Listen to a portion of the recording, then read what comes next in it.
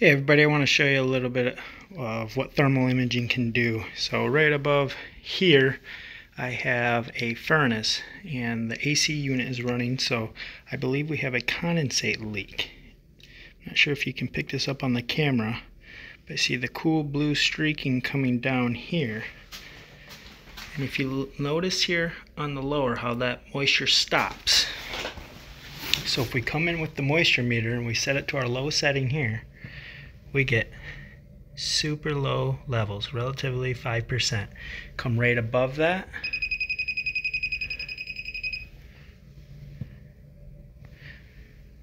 And here we do have elevated levels. So by doing that little test and the thermal imager, we can confirm that we do have moisture is coming to this point and then it stops being saturated. And it must be from that condensate of the AC unit right above here.